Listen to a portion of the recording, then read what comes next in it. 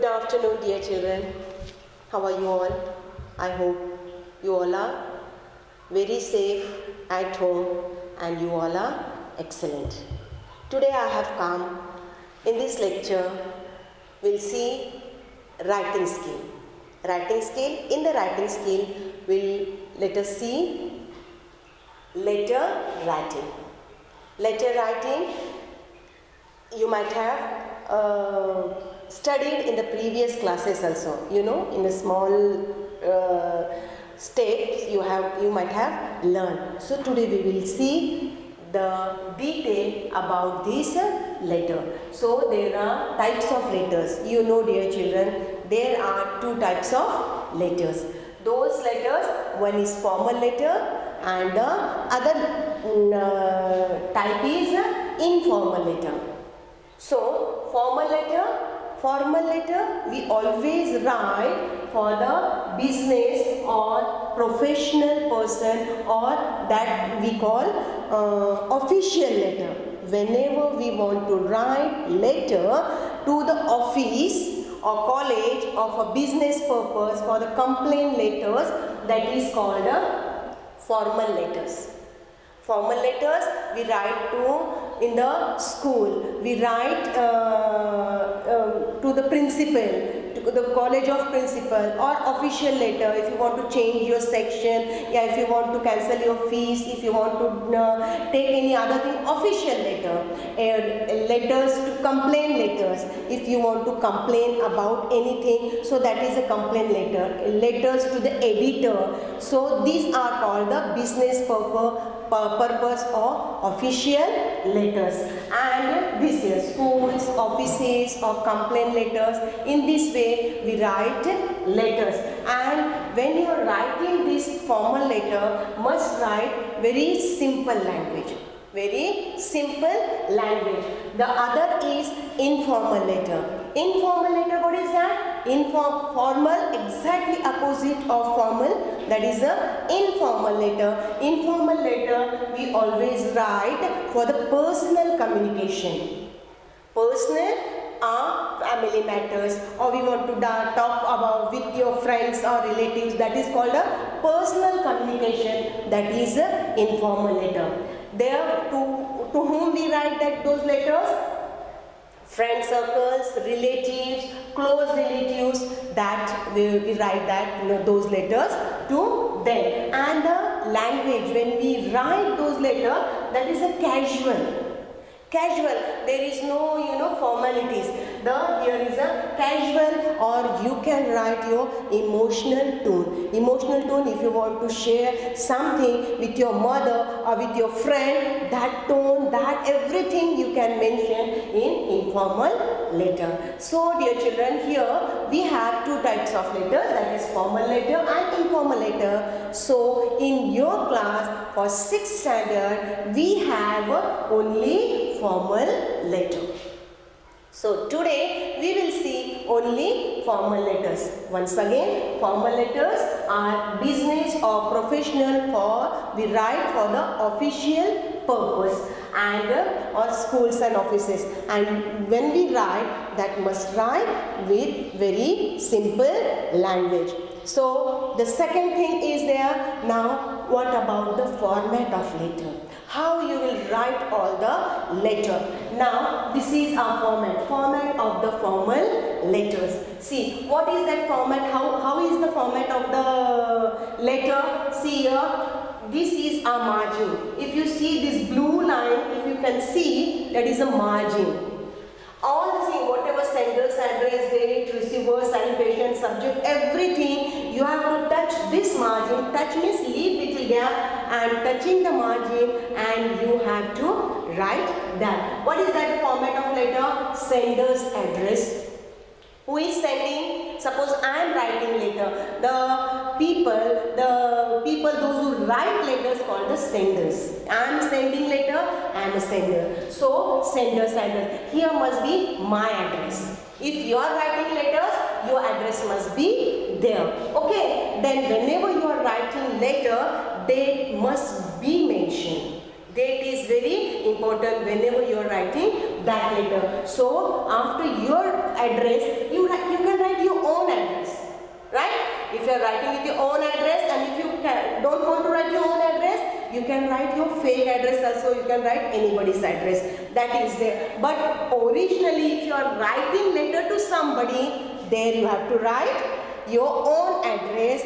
In the exam, you can write anybody's address or you can write your own address also. So your date must be there. It's a compulsory. Then the receiver's address, name and address. Receivers Suppose now you are writing to the principal. If you are writing letter to principal, so that address, name and address must be there. That is called a receiver's address.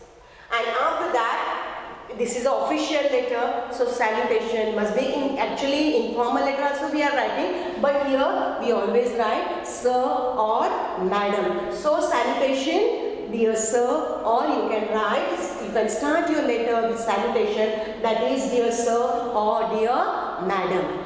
Okay, now the subject. Subject is very important for what purpose you are writing that letter. If your complaint letter is there, so you, your must, subject must be the complaint. I want to, I would like to complain or official edit, letter to the editors that must be written. now what, what I have written here? What the letter is about. If your letter is about uh, application, write that subject. If your uh, letter is about the complaint, write that sentence. If your uh, letter is about appreciation, so write that sentence. You know, according to the subject, you must write your subject, what the letter is about. That is subject. Keep in mind, after the salutation, subject will come. Now, the main purpose is body of the letter. Body of the letter, two paragraph, small, small two paragraph or at most three paragraphs. You have to conclude your letter within these two or three paragraphs. Understand? And that is, I think so, six, seven line, not more than that. So, that is the body of the letter. After that, complimentary clause. When your letter writing is completed, that time you have to write the complimentary clause. What is that? Suppose you are writing, suppose we are writing to principal, you must write yours or your obediently, yours obediently, sincerely, yours faithfully. In this way, you can complete, uh, close your letter. And after that, here I have written name and sign. When you are writing, here in between, you know, yours faithfully, obediently, if you are writing thanking you, that is also correct there. That also we must mention. Thanking you. Then this complimentary clause must be there. Yours obediently sincerely. And then your name and sign. So, Suppose you are a student, right? You are a student and you want to leave from school for three or four days, leave from the school. So what you will write your, your class you will mention. Shamal, class, class 6, roll number 22 or 21, whatever roll number is there and then you sign. So in this way only means everything must come in this line and if you are writing one below the other exactly it looks always good. This is our formula of the letter. Now with this formula of the letter we'll see one example only then you will understand very clearly. So we'll see uh, example. Okay. Just now we have seen a format of the letter so one example I will explain you uh, with example. Okay, now write, you have to write one application, write an application to your principal madam or sir to, for, uh, to get three days leave. So that you are writing. Okay, now what is that format of the letter? The first one, sender's address. Means you are writing letter, you are writing an application to uh, principal man. Okay, means in the school. So sender's address. What is the sender's address? Okay, your address is there. 732, that is your house number. Okay, 732 Sahyadri Nagar, Mumbai. Wherever you are staying, that address you must mention. So your address is 732 Sahyadri Nagar, Mumbai. After sender's address, what is there? Date is very important. So see a date. When you are writing that, that is date. So okay, we'll write today's date only. So that is 30th June 2020. That date is there. Okay, and here after that, what is that? Receiver's name and address. To whom you are writing that letter, that address must be there. So you are writing application. You are writing application to principal. So the principal, modern High School, Mumbai. Anywhere you are writing. See, if you want to write application here, so you will write to the principal Uh, Rotary English Medium School, Khed, Bharne Naka, whatever your school address is there, that you must write. So, here the receiver's name and address, that we have written the receiver's name and address name, the principal. And what is there? That Mumbai. Okay, and then salutation is there. Means greetings. As soon as we, uh, we start later, greetings are there as we are writing to the principal. So we have written there, dear madam. Then after that, after the salutation, what you have to write? Subject. So what is your subject? Your subject is you want leave. You want leave. Three days leave you want. So you can write the leave application. Simple language. If you are writing so those will read can understand what is the main subject while you are writing this letter. That is a leave application. Okay, that is a subject. Now the main thing is the body of the letter. Body of the letter, as I said, three paragraphs at most three paragraph or two paragraph means six to seven lines. Very simple language you must write. So what is our body of the letter? That is the main thing is there. See that is application. We want application. So you are writing. So uh, see my mother is suffering. S u f f e r i n g. Suffering. My mother is suffering from fever. There is no one her. My father is out of, my father is out of station. My father is out of station. Now this paragraph, one paragraph is over, start the second. The doctor has advised her complete bed rest for three days. Complete bed rest for three days. I will, I will have to be with her so I cannot attend the classes. Very simple language for what purpose she cannot attend the classes that she has mentioned. So the third paragraph. What is the third paragraph? Therefore, I request you to grant me three days leave which three days leave that you must mention in the application. So that is now suppose today we are writing letter 30th of June. So here we have written from tomorrow onwards we want to leave. So first, second, third. Three days leave first, second, third. So from 1st July to 3rd July.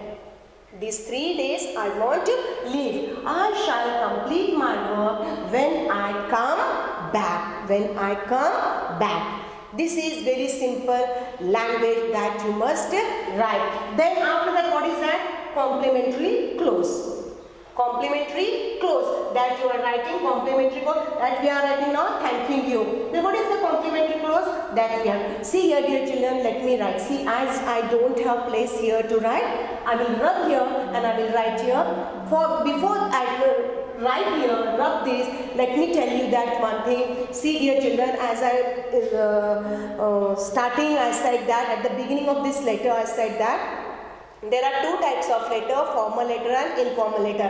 What is the difference between the formal letter and the informal letter?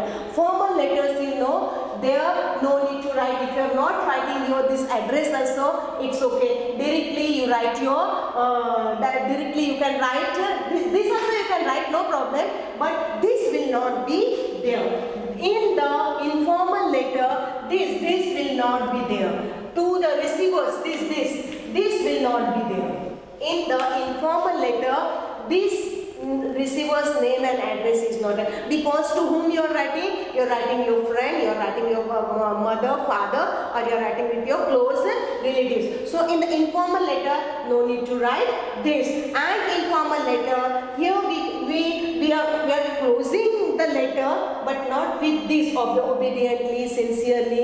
If you are writing sincerely, you are sincerely daughter also. If you are writing that is also correct but you are lovingly, your dearest daughter, your dearest son. In this way also you can complete. And there, no in, in the informal letter, no need to write thanking you. Only in the official letter we write thanking you. Okay, now one thing is left that is after the uh, thanking you, we have to close these complimentary close. So as I don't have place to write downside, so I will write over here. So top side only I will rub this and I will write and show you. So what is that? What is left in uh, this one? That is complimentary close. So you are writing. What you will write there? Yours sincerely. Yours obediently. Suppose this is a margin. Yours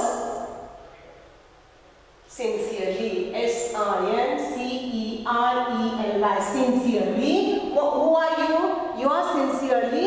Okay. What is your name? So you can sign. You can sign over here, or you can write your name. Okay. See, my name I am writing here. Roll number 12 and class. You must mention class. That is, I am from 6th class.